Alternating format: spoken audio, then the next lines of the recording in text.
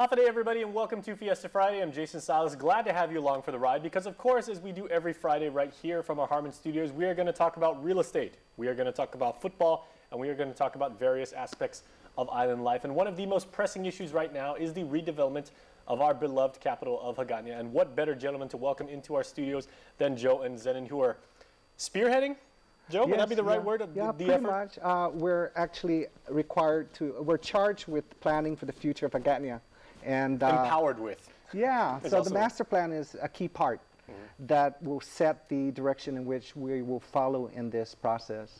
Now, I like the very strategic selection of words. You know, it's the restoration of Hagåtña, im- implying that, you know, the glory days, if you were, you know, it's honoring the past and while moving, you know, our capital into the future, you know, um, giving it a new modern age and appealing to a new generation of Guamanian while still keeping true to our traditions. And that's correct. I mean, you know, uh, we're revitalizing Hagåtña by redeveloping it and, and restoring it and bringing back the uh, people that live and work in uh, Hagåtña, I mean, and then the uh, also to uh, bring back some of the his historic uh, sites and uh, redevelop that, and also bring back business because because that's that was the vital part of Hagåtña back in in its glory days. Hmm.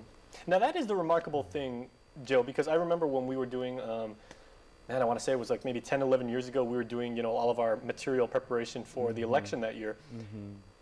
And even though I've lived here all of my life, you know, I was shocked to find out that Hagåtña is actually one of the island's least populated villages because because it's so dense as a business mm-hmm. center. But you know, like that's that is one of the, if not the, uh, municipality with the lowest number of voters because like not that many people actually live there, but it's a thriving business community. Yes, Governor Calvo has made this one of his top priorities, amongst many other priorities, that we go in and we try to reestablish uh, the home of the legislature, uh, the judicial, the executive branches of government, and to preserve the cultural facilities and the amenities of Guam as we move forward. And that's very important. So there's a marriage between not just commerce, but folks who can come back and live in affordable housing, as well as, as you noticed, there's a lot of things going on in Agana as we, as we speak. Fastback is coming in.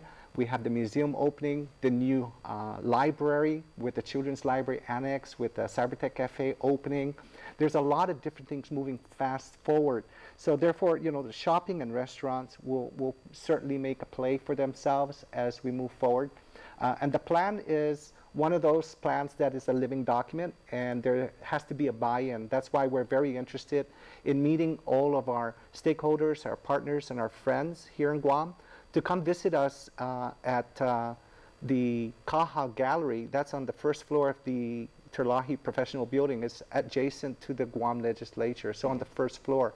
Tomorrow, it's from 1 o'clock, uh, 1.30 to 1 o'clock to 6.30 p.m. And then for those folks who can't make it during the week, uh, Saturday, this coming Saturday at the same time, at 1 o'clock to 6.30 p.m. And it's going to be very interactive. Uh, folks who come in will have an opportunity to provide some input that would add to our dynamic plan. Now, if people who, you know, as you were saying, Zen, they maybe used to live there, you know, like uh, they remember uh, the old school Hagåtña, if you will, um, are they allowed to bring, you know, like maybe artifacts or, you know, like in, in addition to their, their information and their opinions and everything like that, can they bring things that they might want to contribute to the project? Of course, because we may be able to use some of their ideas and some of the artifacts that they bring in to help us enhance the different types of uh, signage that we're going to have in the master plan and, and other things like that. We're looking at uh, restoring some of the barrios and, putting, putting the barrio names back in to the community and, and then continue with uh, uh, building the in the central area down down by the by the cathedral and the legislature and the the Palacio. Uh, Governor Calvo is really pushing the Cal- Palacio, and this is one of his visions. Also, the the uh, re- restoration and, and uh, redevelopment of Hagåtña, and with that, uh, by bringing in the judicial, the legislature, b- bring back the Department of Administration. You know, bring them back from Tamuning. Bring bring all those things back into Hagåtña, and revitalize it. And then uh, there may be some opportunities for uh, low-cost housing. In in uh, now remember, Hagåtña goes from Adelup all the way down to Alupang Beach Tower in East Agana, and then on the southern boundary is the is the cliff line. So it is a larger district than we than we think about.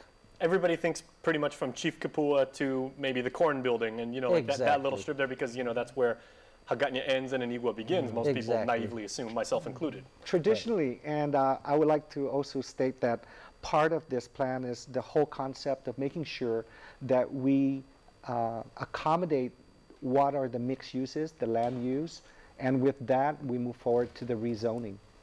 Okay, so um, uh, what time again should people show up and everything? Because I would assume it, this is going to be an event that's going to be, you know, packed shoulder to shoulder because everybody wants to see what's going on. The architecture is amazing, but then also, you know, some people would like to say like, hey, you know, I've got think- something I think I can contribute. Correct. Uh, from 1 o'clock tomorrow, on both days, Friday and Saturday, tomorrow and Saturday, from 1 o'clock to 6.30 p.m. And All that's, that's October 16th and 17th. Absolutely, gentlemen. Thank you very much. Thank you very much, Jason. and thank you for the work that you guys are doing. You guys are doing a fantastic job, and certainly much more to come. But we'll be in touch with you. Thank you so Yeah, much. thank you very So much. just Bye-bye. All right, please stay tuned, everybody. We are back right after this. More show coming up right here on Fiesta Friday.